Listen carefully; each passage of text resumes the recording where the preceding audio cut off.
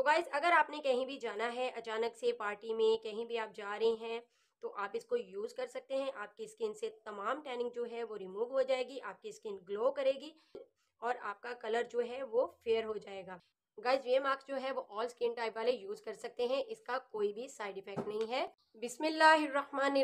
अस्सलाम वालेकुम guys welcome to my channel Shumail beauty tips उम्मीद करती हूँ आप सब खैरियत से होंगे। तो गाइज़ इस वीडियो में हम आपके साथ शेयर करेंगे कि किस तरह से आप अपने रंग को गोरा कर सकते हैं इंस्टेंट ग्लो हासिल कर सकते हैं बहुत ही इजी वे के साथ हम आपको बताएँगे। अगर आपने कहीं जाना है, आप कहीं पार्टी में जा रहे हैं, आपने अचानक कहीं जाना है और आपको जो है वो चाहिए इंस्टेंट ग्लो और अगर आप चाहते हैं इमरजेंसी ग्लो आ जाए आपकी स्किन पर तो ये वीडियो आपके लिए है। तो गाइज़ आपने करना क्या है? आपने वीडियो को कंप्लीट वॉच करना है।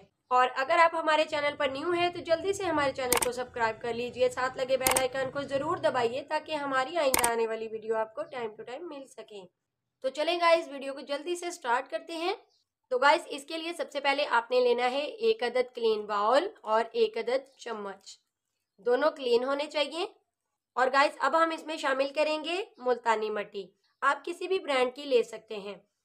और अगर आपके पास ये नहीं है तो आप इसका अल्टरनेटिव भी यूज़ कर सकते हैं। यानी कि अगर आपके पास मड मार्क्स है तो आप उसको भी यूज़ कर सकते हैं।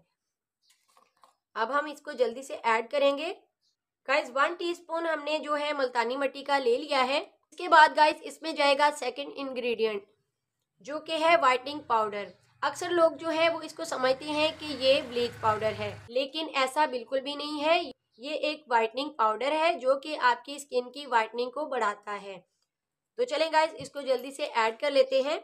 इससे गाइस कोई भी एरिटेशन नहीं होती आपकी स्किन पर। गाइस ये हमने इसमें ऐड करना है वन टीस्पून और थर्ड एंड लास्ट इंग्रेडिएंट जो हम इसमें शामिल करेंगे वो है अरके गुलाब। ये आपने लेना है वन टीस्पून या फिर इतना कि ये आपका जो है वो स्मूथ सा पेस्ट तैयार हो जाए। जल्दी से इसको करेंगे मिक्स और अगर आपके पास अरके गुलाब नहीं है तो आप इसकी जगह वाटर भी यूज़ कर सकते हैं। सिंपल पानी भी आप इसमें ऐड कर सकते हैं। गाइस आपने क्या करना है? आपने इसको अच्छे से कर लेना है मिक्स तो गाइस देखिए, हमारे पास ये स्मूथ सा पेस्ट तैयार हो चुका है। मैंने इसमें तकरीबन टू टीस्पून जो है, वो अरके गुलाब के ऐड किए हैं, ताकि हमारा ये स्मूथ सा पेस्ट तैयार हो सके। तो गाइज़ अगर आपने कहीं भी जाना है, अचानक से पार्टी में कहीं भी आप जा रहे हैं तो आप इसको यूज़ कर सकते हैं। आपकी स्किन से तमाम टैनिंग जो है, वो रिमूव हो जाएगी, आपकी स्किन ग्लो करेगी। और आपका कलर जो है वो फेयर हो जाएगा। तो चलें गाइज़ इसको जल्दी से बताते हैं आपको कि किस तरह से आपने अप्लाई करना है।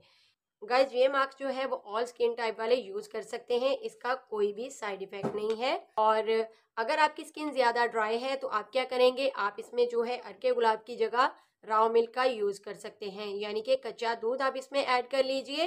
तो चलें गाइज़ अब हम बताते हैं कि आपने किस तरह से इसको अप्लाई करना है। आप इस तरह से ब्रश की मदद से या अपने हाथों की मदद से तो गाइज़ आप इस तरह से अपने फेस पर इसको अप्लाई कर लीजिएगा।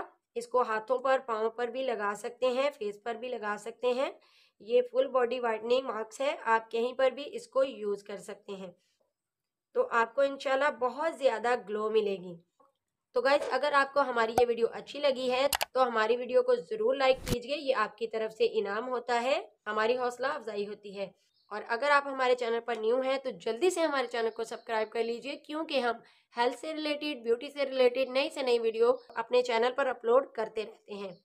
तो चलें गाइज़ इसको ड्राई होने देते हैं। आपने पंद्रह मिनट के लिए इसको इसी तरह से लगा रहने देना है और देन आपने इसको वॉश कर लेना है। बस इतना ही प्रोसेस है और आपको मिलेगी इंस्टेंट ग्लो जी गाइस इनशाला आपका कलर फेयर हो जाएगा, आप गोरे छुटे हो जाएँगे इनशाला और गाइस खूबसूरती जो है, वो महँगे महँगे प्रोडक्ट की मोहताज नहीं होती। तो गाइस आपने इसी तरह से इसको यूज़ करना है। इनशाला आपको बहुत अच्छे रिज़ल्ट मिलेंगे। आपने पंद्रह मिनट के यूज़ के बाद इसको नॉर्मल पानी के साथ वॉश कर लेना है। तो चलें गाइस मिलते हैं किसी और नई वीडियो में। तब तक के लिए इजाज़त दीजिए। अल्लाह हाफिज़। Thanks for watching